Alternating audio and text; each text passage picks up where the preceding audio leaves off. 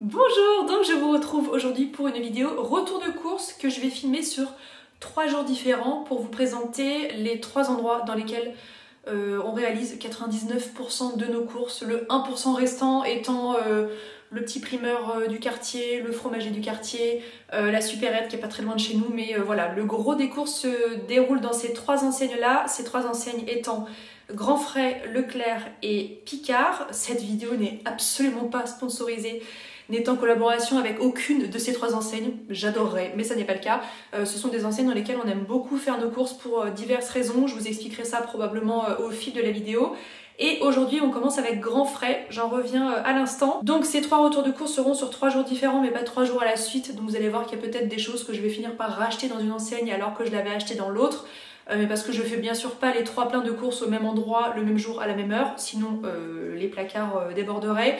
Quand on commence à manquer un petit peu de fruits et légumes frais, et eh ben je me penche davantage sur euh, ce qui nous reste au congélateur et inversement, voilà, pour essayer de euh, diminuer les stocks dans chacune des enseignes et pas faire euh, trop de dépenses et surtout ne pas occasionner de gâchis. On commence par grand frais, donc on en revient là à l'instant, sachant que pour info, au moment où j'ai fait ces courses, on avait quasiment plus rien dans le frigo. Et que je suis tombée dans le meilleur des algorithmes sur TikTok puisque je suis tombée sur plein de vidéos autour de courses de chez Grand Frais, de gens qui achetaient des choses que je n'avais même jamais vues, à tel point que je me disais mais c'est pas possible, peut-être qu'il n'y a pas ça dans mon propre magasin Grand Frais. Eh bien si, c'est tout simplement parce que j'ai l'habitude de racheter toujours les mêmes trucs. Donc vous allez voir qu'il y a quelques petits achats inspirés par euh, voilà, ces vidéos TikTok et puis l'algorithme est très bien fait sur cette appli. Une fois que vous avez montré un peu d'intérêt pour un thème particulier, il ne vous sert que ça du matin au soir, donc un régal.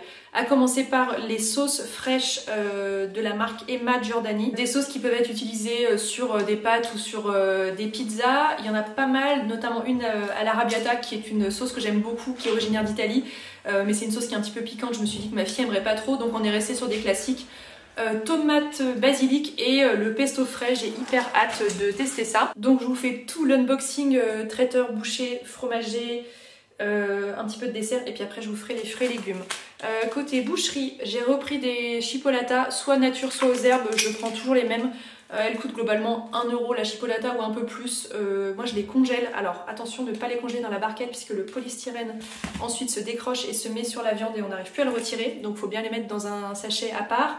Et puis il y avait une promotion sur les filets de poulet donc J'en ai profité pour euh, faire un petit peu de poulet aux champignons. Vous verrez que j'ai pris des champignons euh, juste après. Côté euh, charcuterie, j'ai pris de la noix de jambon aux herbes. J'aime beaucoup ça, Quentin n'aime pas trop, donc je pense que ça sera pour Inès et moi.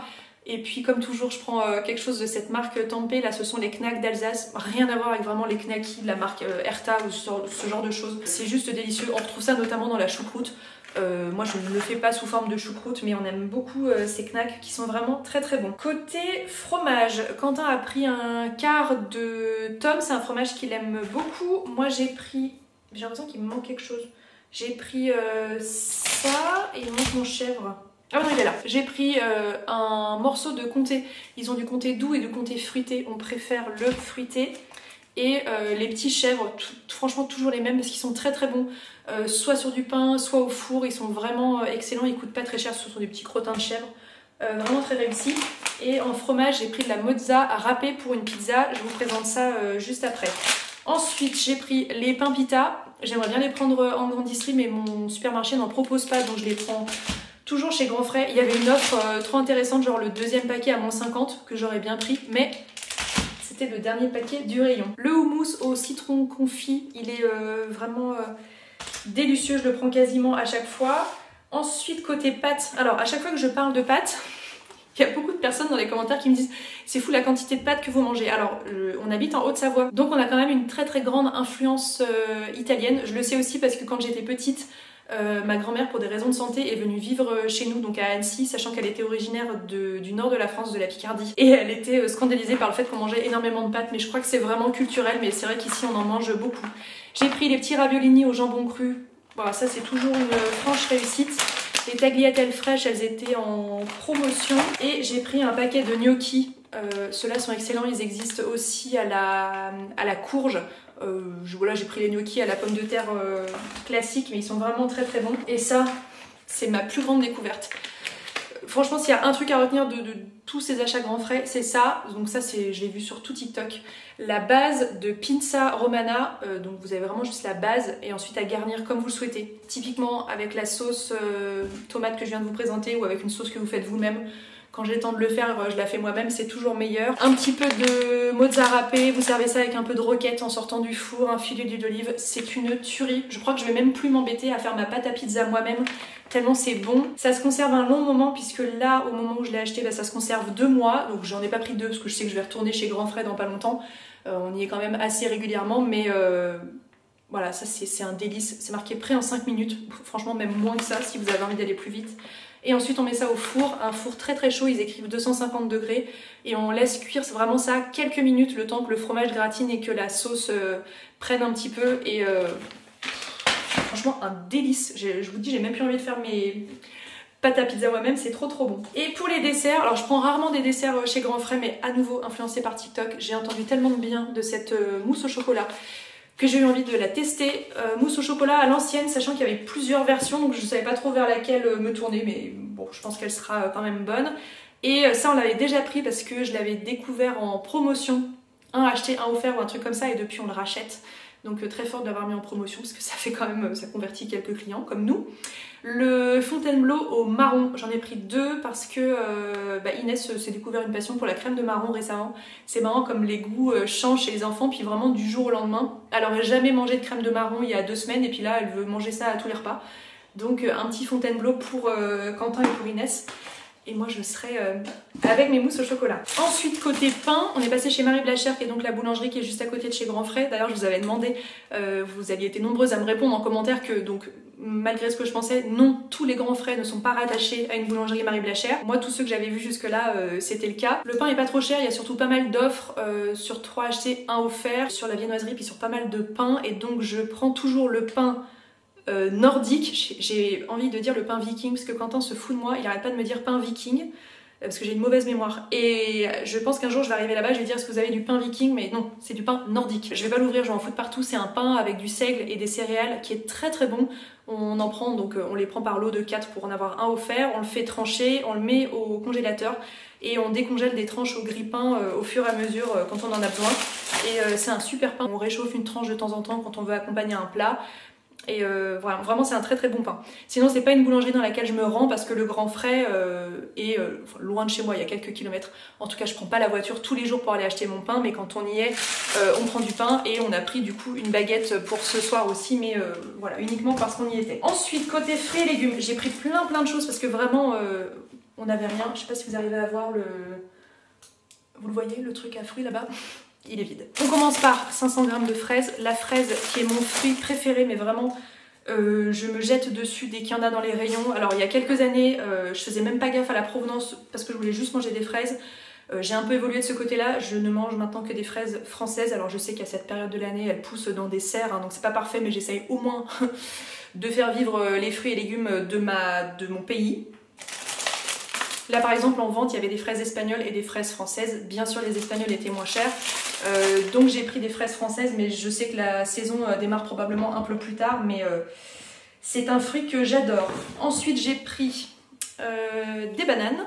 Une, deux, trois, quatre, cinq, six. Et je crois qu'elles viennent de Martinique. Pareil, j'essaye de faire en sorte qu'elles viennent de France quand c'est possible.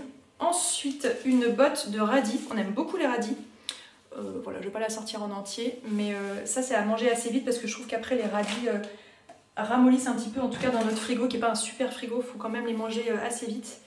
J'ai pris euh, des kiwis, j'ai pris des fruits de la passion, euh, nouvelle découverte aussi, alors enfin, non pas que je ne connaissais pas les fruits de la passion, mais c'est pas du tout un fruit que j'ai l'habitude d'acheter. Et ma meilleure amie Morgane est venue en week-end chez nous avec sa famille il y a quelques semaines. Et leur fille adore les fruits de la passion, donc on, lui en avait acheté quelques-uns et Inès a fait la découverte de ça et euh, elle va en manger à tous les repas. Donc on en a pris euh, trois. Ensuite des myrtilles, bah, ça ça va plutôt être pour euh, Quentin justement quand on mangera les fraises avec Inès parce que Quentin est allergique aux fraises. Alors c'est pas une allergie incroyable mais ça lui fait vraiment des démangeaisons tout autour de la bouche et puis bon j'ai quand même assez peur que ça finisse par faire une réaction anaphylactique un peu plus forte donc du coup il en mange plus. Donc il aura des myrtilles pour, pour remplacer les fraises et ma fille adore les myrtilles aussi donc je pense que c'est elle qui les finira. J'ai pris des tomates cerises, euh, typiquement pour faire une petite euh, bolognaise maison, une petite sauce tomate euh, maison. Voilà, j'ai pris deux petites poignées. Ensuite, qu'est-ce que c'est que ça? Des kiwis. J'en ai pris trois. Ma fille aime beaucoup, surtout au petit-déj le matin. C'est un fruit qu'elle aime énormément. J'ai pris des courgettes. Je vous montre à chaque fois comme si j'allais vous faire découvrir des nouveaux légumes. Mais pas du tout. Les courgettes, rien de plus normal les courgettes, rien de plus classique. J'en ai pris 4. Euh, en ce moment, j'aime bien les faire. J'aime bien les faire soit à la casserole avec un peu d'huile d'olive, euh, de la fleur de sel et des herbes de Provence, ou alors je fais une sorte de bolognaise.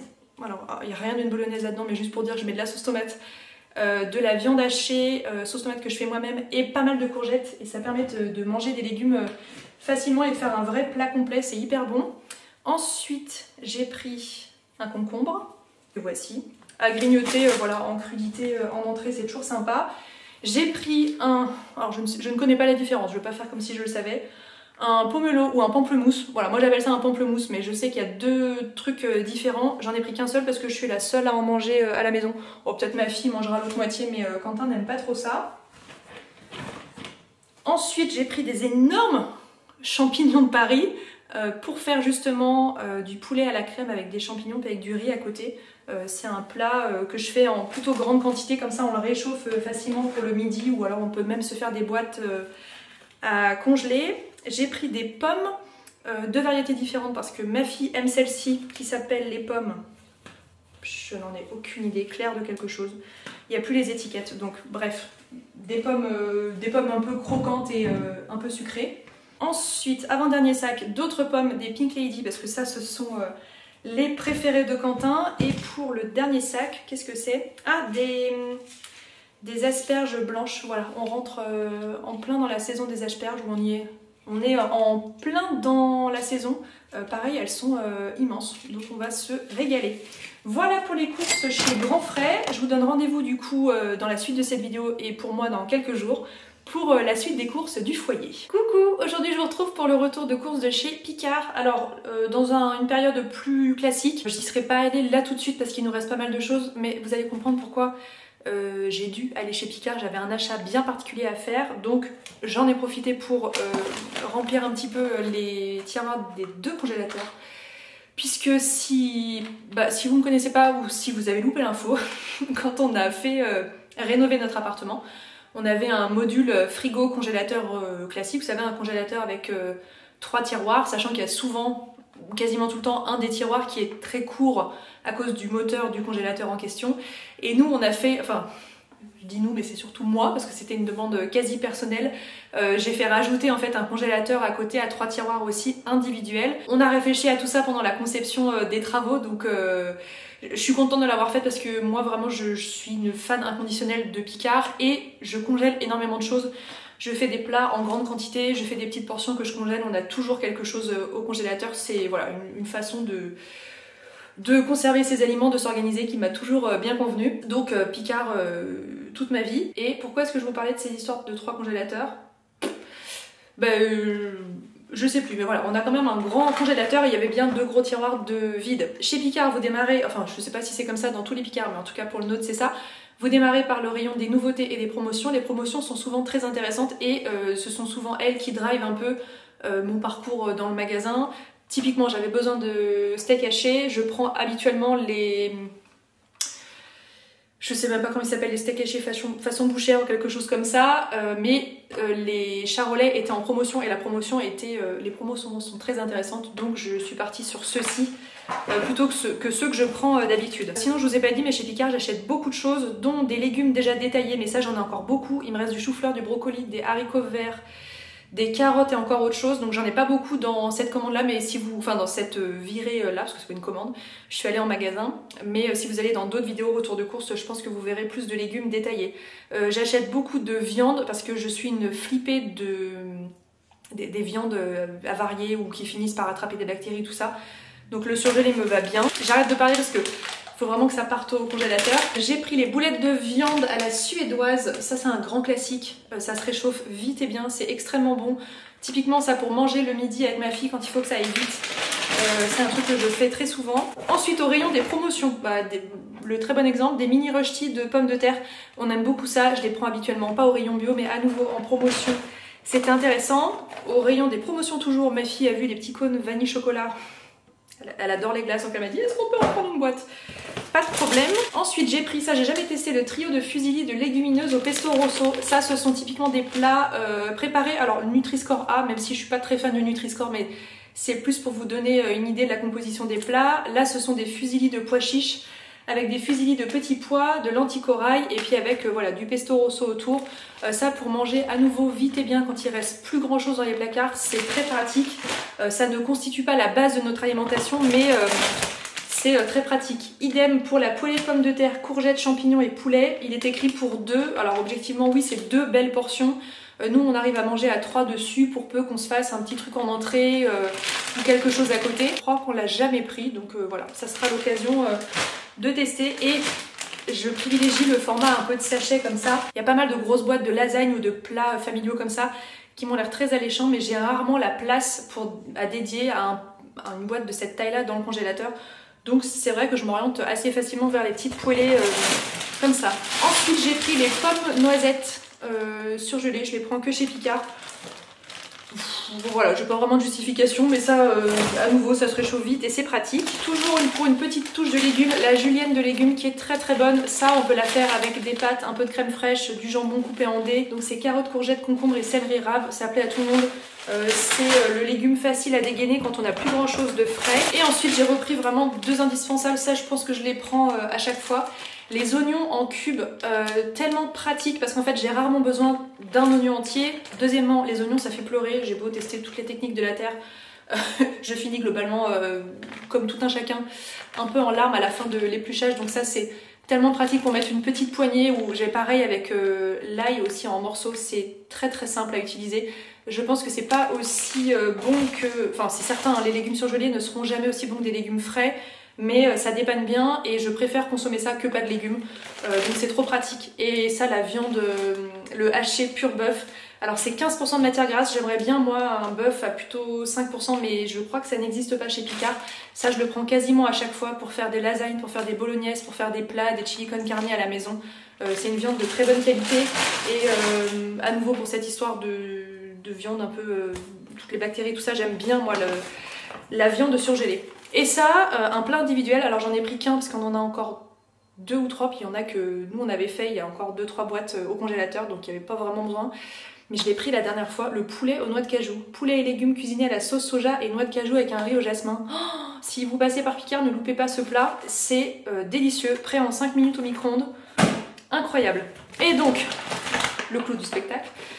Demain au moment où je filme, c'est l'anniversaire de ma fille, donc oui, je vous ai pas dit, je filme. Oh, je suis désolée, c'est complètement dans le désordre, mais en plus, j'ai vite envie de le ranger parce que c'est du surgelé.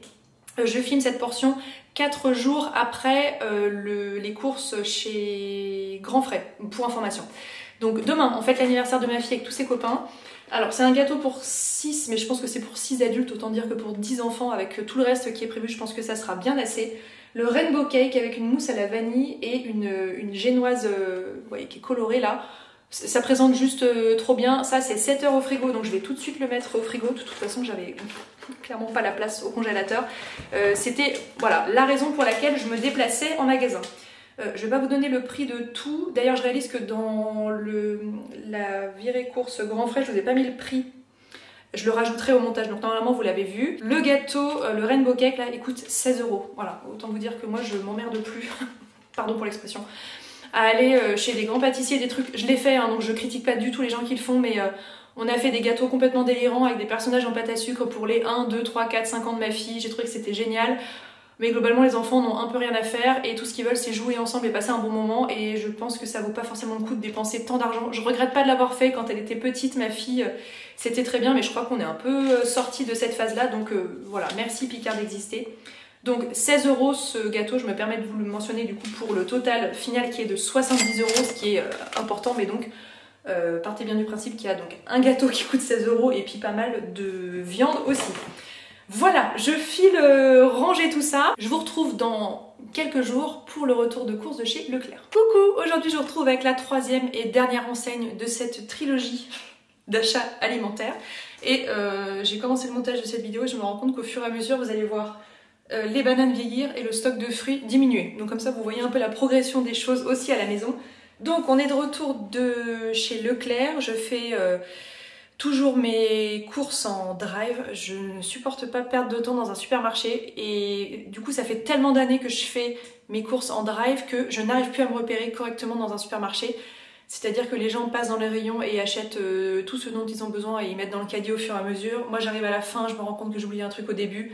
Enfin c'est une perte de temps innommable et je... Alors j'entends tout à fait qu'on puisse prendre plaisir à aller dans un supermarché pour voir les nouveautés, les produits, les promos, les trucs. Moi je ne ressors aucun plaisir de ça. Donc, le drive, c'est vraiment la solution parfaite. Ça me pose pas de souci d'aller faire mes courses chez Grand Fred, notamment. Euh, déjà, ils ont pas de système de drive, mais je crois que même s'ils en avaient un, j'aime bien voir les fruits, voir les légumes, autant pour euh, des boîtes, des trucs comme ça. Voilà, je, retire aucun plaisir. C'est pratique aussi pour donc gagner du temps, vous l'avez bien compris, pour surveiller son budget. Franchement, il euh, n'y a rien de mieux. Pour faire les courses depuis chez soi, en ayant en visuel l'intégralité du contenu du frigo, pour pas faire de doublons, enfin bref. Chez nous, le drive, ça fonctionne hyper bien. Et pendant des années, je faisais le drive dans le supermarché plus proche de chez nous, qui est Carrefour. Euh, le système était très bien fait. Un jour, on a... Enfin, Quentin travaillait, bon bref. Il avait un drive Leclerc sur la route du retour, c'est une histoire qui remonte à, peu près 2-3 ans en arrière et on a fait un test en fait et on s'est rendu compte que euh, le panier euh, moyen était nettement nettement moins cher chez Leclerc, c'est-à-dire qu'on avait fait des comparatifs en mettant rigoureusement les mêmes produits dans le caddie, oh le beau rayon de soleil, euh, dans les deux enseignes, euh, on s'en sortait avec plus de 10 euros d'écart sur un panier à 90-100 euros. Enfin, c'était euh, absolument incroyable. Donc, le Leclerc est de l'autre côté de chez moi à Annecy, ça me fait faire donc un peu de route pour y aller. Enfin, on s'entend, hein, j'ai genre 10 minutes de route. Quand j'y vais, j'en profite pour faire le plein de ma voiture parce que l'essence est la moins chère là-bas aussi. Et voilà, tous les 10 jours à peu près, j'y suis au drive, je m'en sors pas trop mal avec les horaires de travail que j'ai. Je peux donc y aller quand je veux, donc j'y vais pas le matin à 8h, j'y vais pas le soir après 16-17h parce qu'il y a un monde fou, mais en pleine journée, et j'y vais pas le samedi, le dimanche non plus. Je m'en sors globalement très bien, il n'y a pas d'attente. Je suis euh, servie, enfin on m'amène les courses en moins de 2 minutes, donc il n'y a rien à dire. Je vais commencer par tout le frais, comme ça après je vais ranger. Alors, euh, avant que... je suis désolée, ça part dans tous les sens. Sur mon appli de Drive Leclerc, j'ai une liste avec tous les produits que je rachète vraiment à chaque fois pour aller vite, pour gagner du temps. Donc typiquement je rachète toujours le même beurre, le même lait, les mêmes yaourts nature, les mêmes fromages blancs, euh, les œufs, etc. Donc tout ça c'est dans la liste et je sais que je rachète, euh, j'achète jamais autre chose à part si le stock vient à manquer au moment où je fais mes courses. Et puis après, je passe en revue la catégorie promo dans laquelle je vais piocher des, articles auxquels j'avais pas forcément pensé ou euh, qui sont en promo et ça m'arrange à ce moment-là, ou bien des lots je vous donne un exemple, je voulais acheter un paquet de coton-tige, et ben je vois que c'est un acheté, le deuxième offert dans la catégorie promo, et ben je vais prendre les deux paquets à ce moment-là, même si j'avais besoin objectivement que d'un paquet. Donc je fais ma liste, les promos, enfin je commence surtout par les promos, ensuite je fais ma liste, et après je suis la liste papier. On a vraiment une liste papier, il n'y a que ça qui marche chez nous qui donc là est vide parce qu'on on rentre des courses à l'instant avec un stylo elle est dans la cuisine euh, chacun euh, maintenant Inès euh, écrit parfaitement donc elle sait écrire ce dont elle a besoin ou alors elle nous le dit, puis on écrit à sa place, on a fait ça donc pendant des années, et euh, voilà, chacun se responsabilise et écrit sur la liste ce qu'il souhaite. Et moi après, donc c'est souvent moi qui fais la commande, et puis après c'est soit Quentin, soit moi qui allons la chercher, sachant qu'en ce moment, voilà, Quentin a des gros horaires de travail, donc ça m'incombe pas mal depuis ces derniers mois. Mais quand on passe la commande, on ne tergiverse pas sur ce qui est noté sur la liste. C'est-à-dire que là, moi, Quentin m'a écrit euh, céréales, bah moi j'ai pas envie de céréales, il a marqué céréales, il veut des céréales, je commande des céréales. Voilà, quand c'est écrit sur la liste, chacun se responsabilise et du coup par extension euh, vous pouvez pas venir dire derrière ah ben j'avais pas écrit ça mais t'as pas pensé à l'acheter non si c'est pas écrit sur la liste j'y pense pas donc tout le monde se responsabilise et alors il y a toujours un raté il y a toujours un manqué un truc auquel on n'a pas pensé mais globalement euh, ça se passe bien donc je vais commencer par le frais comme ça je range et on passe au sec. Un litre de jus de fruits innocent, je prends toujours cette marque là parce que je les trouve euh, très très bons. Ce sont donc des jus de fruits à conserver au frigo et je prends un litre à chaque fois, c'est pour les petits déj euh, du week-end. Ma fille n'en boit pas le, reste de la semaine. Une boîte de kiri ce sont euh, ce sont les goûters de ma fille, des petits graissins à tremper. C'est le goûter euh, quand elle est à l'école. Des ravioles à poêler, donc ça ce sont les fromages frais basilic. ça pour les midis, quand on rentre de l'école et qu'on veut manger vite, et eh bien je dégaine ça facilement. Les petits Saint-Moré, alors d'habitude je prends la marque Leclerc, donc là ça n'était pas dispo. Je préfère les portions individuelles aux gros pots qui finissent par euh, rancir un petit peu. Euh, là, on est sûr que le produit se tient dans la, durée et c'est pas trop mal. Et puis ensuite, on peut laver les petites barquettes et les mettre au recyclage. Des blinis avec du saumon fumé. Je ne mange pas de saumon fumé, je ne mange pas de poisson, pas de crustacés, je déteste ça. Mais euh, j'adore les blinis, donc moi je vais sûrement en manger avec autre chose. Et le saumon fumé, j'ai juste pris, c'est un tout petit paquet, hein. Euh, petite tranche, mais c'est écrit 6 tranches, mais alors 6 tout petites tranches parce que ça fait 100 grammes. Voilà, pour Quentin et Inès, c'est largement assez, mais voilà, c'est un petit paquet. J'achète rarement du fromage, j'entends par là du, bon fromage, non pas que Leclerc vende du mauvais fromage, mais le bon fromage un peu affiné et tout, je l'achète souvent chez Grand Frais ou chez le fromager directement, ça fait longtemps que je suis pas allée chez le fromager. Et euh, chez Leclerc, j'achète vraiment le fromage standard qui vaut pas le coup, euh, ou ça vaut pas le coup de dépenser plus. Donc la petite pointe de brie qui va bien, ma fille adore ça et nous aussi. La bûche fondante, on met ça sur du pain avec un peu d'huile d'olive, un peu d'herbe de Provence. On peut mettre un filet de miel, ça part au four avec une soupe, une salade le soir et une tranche de jambon, c'est juste... Euh, Pareil, le repas facile qui plaît à tout le monde. une plaquette de beurre, je prends toujours le beurre gastronomique, il est très bon pour les cuissons. Euh, moi je cuisine exclusivement au beurre parce que j'ai été élevée par des parents. Euh, mon papa est normand, ma maman est d'origine picarde, donc je n'ai jamais cuisiné à l'huile. Euh, jamais cuisiné à l'huile d'olive non plus, ou alors voilà, pour de très rares exceptions, genre des courgettes à la poêle, je trouve que c'est très bon avec de l'huile d'olive, mais sinon je cuisine tout au beurre. Donc le beurre, c'est vraiment la matière grasse de base chez nous. J'ai pris des œufs. D'habitude, je prends pas ceux-là, j'en prends d'autres, mais peu importe. Ceux-là étaient en promo et la promo était très intéressante. J'en ai pris 24. À chaque fois, vous êtes, euh, j'allais dire scandalisé. Non, vous êtes un peu interloqué par la quantité euh, d'œufs qu'on mange, mais on est voilà des gros mangeurs euh, d'œufs. Pour de la pâtisserie, pour on se fait des omelettes, des œufs à la coque, tout ça, voilà, c'est quelque chose qu'on mange quand même beaucoup à la maison. Ensuite, suite à mon suivi diététique, j'essaye d'ajouter un peu de protéines dans ma vie. Donc j'ai pris un, une boisson protéinée e-pro de chez Danone. Voilà, j'en prends une seule, euh, j'en achète pas 15 et de temps en temps dans la semaine, quand je sens que dans une journée mon apport en protéines n'a pas été assez important, je peux rajouter ça. Et là, je teste parce que c'est tout nouveau et que j'ai vu passer ça un peu partout sur internet. Alix Grousset en a parlé aussi. Le yaourt brassé riche en protéines à la vanille chez Yoplait. Voilà, dans un format pratique, euh, une petite bouteille comme ça. Dans le rayon des promos, il y avait euh, des rondelets, c'était un acheté, un offert ou un acheté et moins 70 sur l'autre. Enfin, c'était très intéressant. Donc j'ai pris ail de Garonne et fines herbes, ça, ça va être mon préféré. Et noix de Dordogne, ça, je sais que euh, Quentin va l'adorer. Ça, voilà, objectivement, c'est pas un truc que j'achète d'habitude. Je l'ai vu dans les promos, ça m'a donné envie et euh, c'était un peu l'occasion qui fait le larron, comme on dit. Du blanc de poulet, moins 25% de sel pour faire des petites tartines, des sandwichs rapides le midi. À nouveau, une salade de concombre, de carottes râpées, un petit muffin complet coupé en deux avec ça et un peu de fromage frais. Ça passe toujours bien. Un pot de beurre demi-sel, euh, c'est la marque Leclerc, il est très très bon. Ça, je le reprends euh, à chaque fois. Ça, c'est typiquement euh, l'achat qui fait partie de la liste voilà, que je rachète à chaque fois. Idem pour les fromages blancs, ça ce sont ceux que ma fille mange le matin. 3% de matière grasse, c'est vendu par lot de 8, donc j'en ai pris 16. Il lui en faut donc, euh, bah, le week-end elle mange pas toujours ça, mais il en faut voilà, au moins 5 par semaine. Et puis Quentin et moi on en mange aussi. Les yaourts nature, je préfère la version euh, bio, non pas pour les facultés euh, bio, mais parce que je, les trouve meilleurs, mais ils n'étaient pas disponibles. Donc j'ai pris les yaourts nature brassés de la marque Leclerc, qui sont quand même très très bons. Et ensuite du riz au. Ça pareil, c'est pas un truc que j'achète systématiquement, mais on aime bien, c'est un petit plaisir voilà, qu'on aime bien. Donc 4, on est 3 à la maison, donc en un repas, et puis après il en reste un, bah, c'est quand même vite euh, terminé, donc j'en achète pas des quantités industrielles, mais euh, on aime beaucoup. Et les compotes, je prends toujours, enfin je prends souvent celle-ci, euh, toujours de la marque Leclerc, douceur du verger, sans sucre ajouté, et là c'est un panaché, pomme, pomme poire, pomme banane et pomme abricot. Voilà, on a toujours ça dans le frigo, très longue date de conservation, ça se conserve jusqu'en février 2025, et attention, toujours les prendre, enfin faites bien ce que vous voulez, mais nous on les prend, je sais pas pourquoi je donne des conseils, on les prend toujours sans sucre ajouté. Ensuite, maintenant que tout est rangé dans le frigo et que j'ai dû faire du Tetris pour que tout rentre, on passe au, non frais, au sec. Les petites pommes potes, j'ai pas fait gaffe que j'avais pris bio, mais euh, je voulais un panachage. Donc c'est pommes fraises, pommes abricots, pommes poires, pommes nature. À nouveau, sans sucre ajouté. Ça c'est un bon budget à chaque fois, mais c'est vrai que pour euh, les goûter à l'extérieur, c'est quand même pratique. Le lait, figurez-vous que par hasard j'ai pris une fois, enfin pas par hasard mais il n'y avait plus le lait habituel que je prends euh, chez Leclerc donc je m'étais rabattue sur le bio. Il est excellent, le goût euh, est très très bon, il mousse mieux quand je le fais mousser pour faire mes cappuccinos donc je vais rester sur, sur celui-ci, il est vraiment très bon. C'est du lait voilà, de vache, demi-écrémé. Des biscuits Bjorg fourrés chocolat au lait, ce sont les biscuits préférés de Quentin, il mange ça parfois au petit-déj quand il doit aller vite pour aller chez ses clients. Un paquet de pâtes, les farfales, c'est euh, la gamme Tradizioni d'Italia. Ça fait des années, enfin depuis toujours qu'on achète des pâtes Barilla. Celles-ci sont un tout petit peu moins bonnes que les Barilla. Et encore franchement, si on fait un test à l'aveugle, je suis pas certaine de pouvoir euh, les différencier. Et euh, elles sont nettement moins chères, donc finalement on est resté sur cette marque. Toujours de la même marque, les Linguine.